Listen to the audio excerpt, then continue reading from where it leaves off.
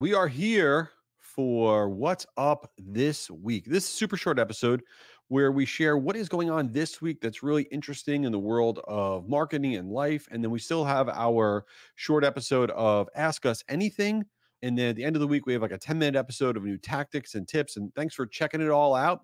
So, what is going on this week that's super interesting? Well, you may or may not have heard, but Google has just rolled out the beta of Gemini. What is Gemini?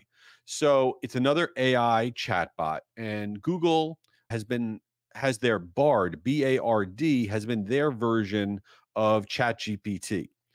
Bard is now gone as of this moment today. It is now called Gemini.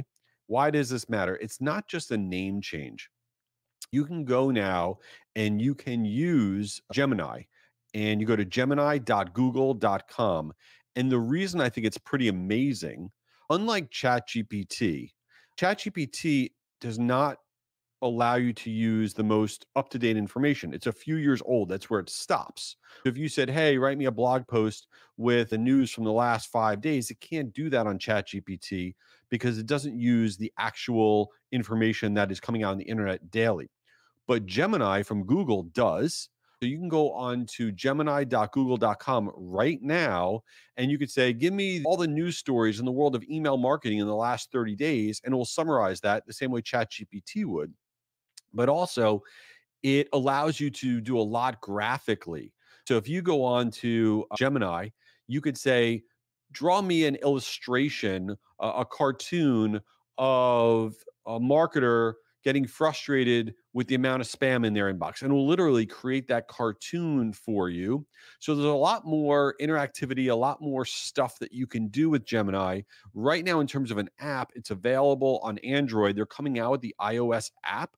So this is new from Google. One of the things that I'm using it for quite a bit, which it's been incredible for, is creating quizzes. As many of you know, quizzes are a fantastic lead gen play, a fantastic way to grow your database. So if you literally go on Gemini at gemini.google.com, and I keep sharing the URL, I don't I don't get paid by them or whatever. I just think it's really cool.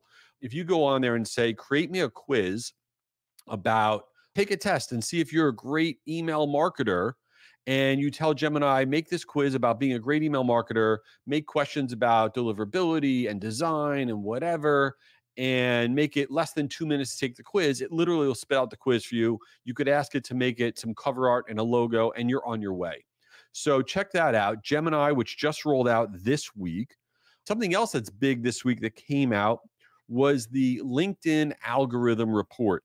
This is something that's put out by a consulting firm called Just Connecting. And Just Connecting is one of the leading voices as it relates to LinkedIn specific engagement metrics and the report is super interesting because what it does is, and we'll put a link to it in our show notes, it breaks down every type of content that you could post or the way that you post, whether it's a video or written in text or carousels, which you can't even really do sort of anymore on LinkedIn. It should, should you comment on stuff, everything. But one of the things I thought that was super interesting in the report was the impact on when you go ahead and you post anything on LinkedIn what is the actual impact when you put a link in your post that takes somebody off of LinkedIn? Or let's say you want to promote uh, a new guide that you've created. All right. And in your post on LinkedIn, you say, and here's a link to it, and you put a link off to your website or whatever. This study came out and said when you put that link to an external site or page in your post, you will lose up to 40% of your reach. All right and which means up to 40% of the of the reach of them circulating it the algorithm's going to slow it down because it doesn't want people leaving the linkedin platform. What a lot of people have done and do and, and this is interesting in the report is instead of putting in their post what they do is they'll immediately after they post or in their post they'll say link to the report in comments. And they'll go into the comments on their own post and they'll post a link to that report in the comments section but now LinkedIn obviously knows what's going on. So now what's happening is LinkedIn is sort of burying those comments. Uh, they're not listing it as one of as one of the relevant comments on your own post. And so it's actually depressing performance by putting the link in the comments by about 15%. So you can't game the system with LinkedIn and try to put your external link in the post or in the comments. But here's what you can do and what is not LinkedIn is not knocking down the circulation or the engagement when you do this tactic. What you want to do is you don't put the external link to whatever it is you're promoting. Doesn't matter what it is. You don't put it in there when you hit post, but literally you wait 10 minutes. You wait 10 minutes. And after it hits that 10 minute mark, you go in and you edit your post.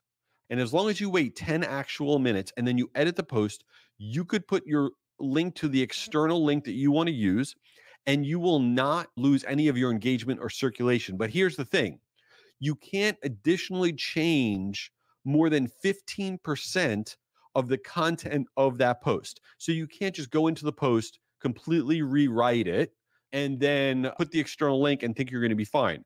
Basically, all you want to be changing is a few words and that external link. And you do that, and that is the way to link to stuff externally based on all the new data that has come out.